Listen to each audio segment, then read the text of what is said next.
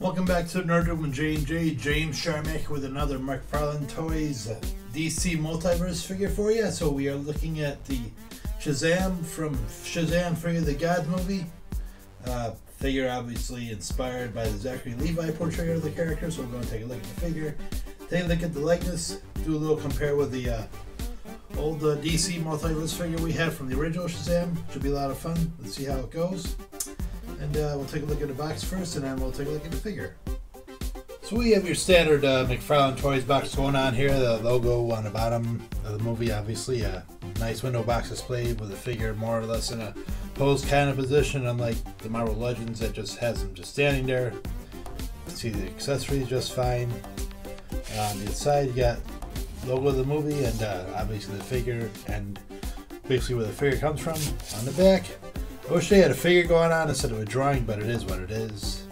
You know, just, just want to get product out for the movie, right? Nothing much going on here. There was a little sticker that says what the product was. On the top, another logo from the movie. And, uh, you know, 22, uh, 22 uh, articulations going on. Usual, usual junk on the bottom. So, that's your box. Let's take them out of the box and take a look at them. Alright, so let's take a look at the figure. Looking pretty solid, looking awesome. Uh, very spot on likeness to Zachary Levi, in my opinion. Uh, suit has nice texture. You know, obviously, with the McFarlanes, they've had, you know, they've worked a lot about, you know, making these screen accurate. So, you know, the fabric of the suit looks pretty cool. There's nice uh, color deviations, like a little, uh, little darker red going on the sides there. Uh, I like how the uh, lightning bolt display, the logo kind of look made it look like it's kind of like a light source going on. Uh, I like how uh, it's got these little silver and gold going on with the not only the the uh, wrist gauntlets but the uh, boot itself. As I said, it's nice, uh, nice resemblance to a Zachary Levi. You know, McFarlane kind sometimes will deviate a little bit for whatever reason, but that's pretty solid looking. Uh, I do wish the cape had a hood to it, you know, uh, but you know they probably changed things up. I guess I don't know. He probably doesn't wear the hood in the movie or didn't wear it in the, wear the in the first movie, but is what it is. So you know, pretty solid looking figure. Let's take a look at his, accessories and we'll take a look at his articulation. Okay, so the figure comes with a few things. Uh, first off, I wish he came with a flight stand. Obviously, I feel if a flying figure, you ought to be able to display him in flight, but comes with the, the DC uh, figure stand, which is fine. You know, it's better than nothing, I guess, but, you know, like I said, I will pose him in a flight stand, see how he looks, but would have been cool if he came with one. Comes with the usual card you get with the McFarlane figures, uh, with, you know, info on back if you want to read or whatever. Uh, it comes with two pairs of hands, uh, one pair of fists, and uh, obviously uh, a couple of hands that just do whatever. Uh, probably used for the uh, lightning effect. And speaking of, pretty much the same lightning effect you had with uh, the uh, TV flash, but a blue looking one, so that's pretty cool. So we'll have some fun posing that a little bit and see how it looks. So let's talk his articulation. Probably the same articulation we've seen with every other McFarlane toy. Uh, side back it goes that far, goes forward that far, spin it around, tilt, tilt, for some reactions. It's got that uh, butterfly hinge right there.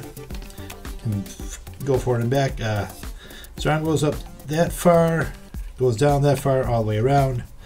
Bicep rotation, double joint at the elbow, wrist rotation back and forth.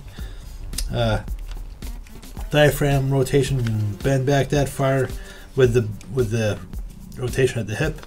Go forward that far with uh, not only the diaphragm and rotation at the hip. Can rotate the diaphragm and the hip get him back to normal. Doesn't really seem to have any uh, have any abs, but whatever. It is what it is, right? Uh, legs go apart that far. Go forward and back that far.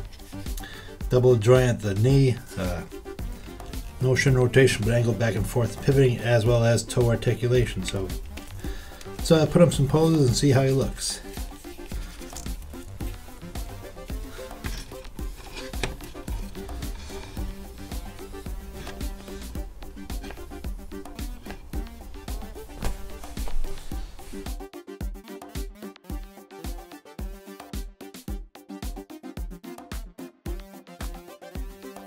So for me, anyways, I think it looks pretty solid if I'm just putting him in a flight stand.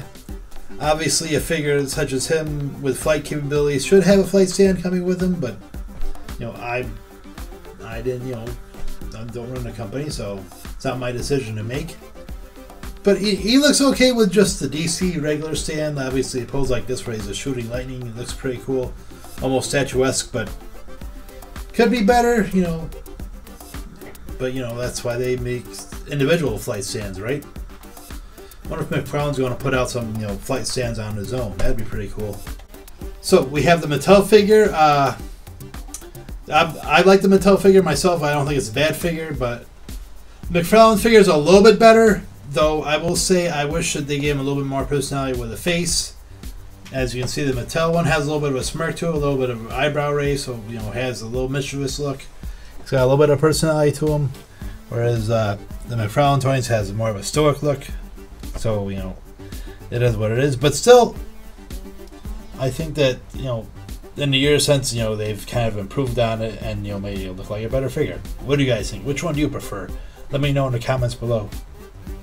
And because he interacted with him technically at the end of the first movie, you have the Henry Cavill Superman. Uh, well, you know, because who needs a reason to pull out the Henry Cavill Superman figure to put him in a video, am I right?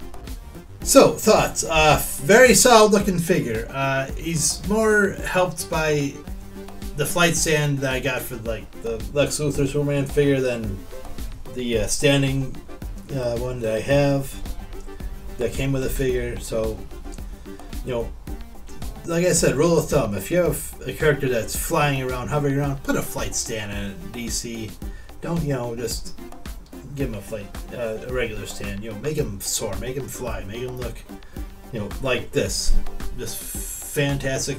You know, you know, it's almost statuesque. Am I right? Am I wrong? Whatever. Let me know. Uh, I like a lot of these figures. You know, I'm not gonna lie. You know, if if it if you can give me a pose that pops, you know, if you put a little effort into you know designing the figure, I'm not going to have a problem with it. If you know, if it looks like it's cheap, if it's just slap it on paint, I'll let you know. You know, I wouldn't say I'm, you know, I give these passes, but you know, if, you know, I'll let you know if I like it, if I don't like it, whatever.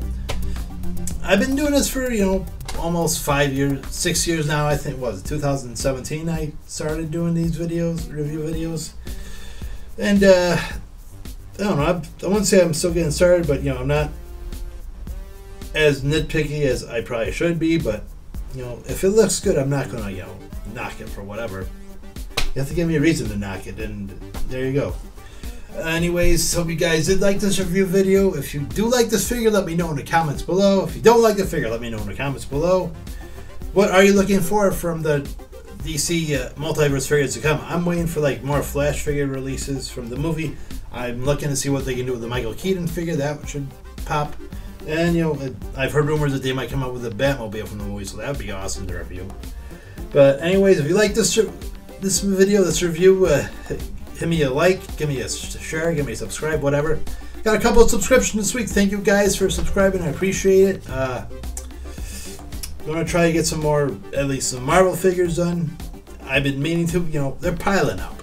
I just, I don't know why. I just haven't been able to do it whatever. Uh, we'll try to get to some in the near future. Anyways, my name is James Scharmach. This has been a Nerd Room with J and J, and as always, keep on collecting and happy hunting.